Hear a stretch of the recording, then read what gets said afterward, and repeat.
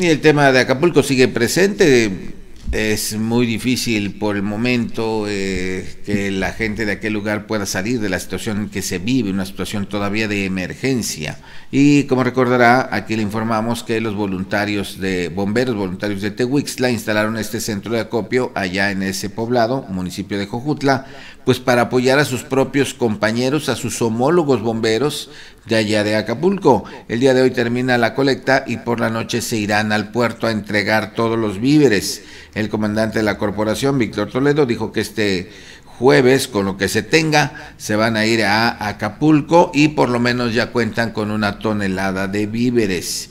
Dijo que eh, gracias a la aportación voluntaria de las personas se pudo obtener esta cantidad. Están buscando vehículos adecuados para llevarlo en un eh, solo momento, pero también comentó que hay médicos que quieren ir a trabajar allá, a ayudar, a auxiliar a la población.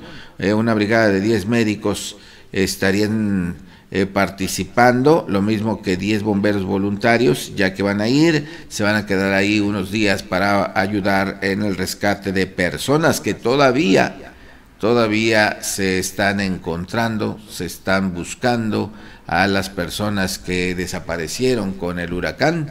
Se han encontrado eh, evidentemente pues ya eh, lamentablemente fallecidas y que todavía pues hay personas que siguen buscando. Así es que eh, la brigada de 10 bomberos voluntarios de Tehuixtla se mantendrá ahí todo el fin de semana para apoyar en estas labores de rescates. El día de hoy tiene usted la oportunidad de llevar sus víveres ahí donde está la bodega Horrera, ahí donde está Mamá Lucha, los precios más baratos de México. Bueno, así dicen ellos.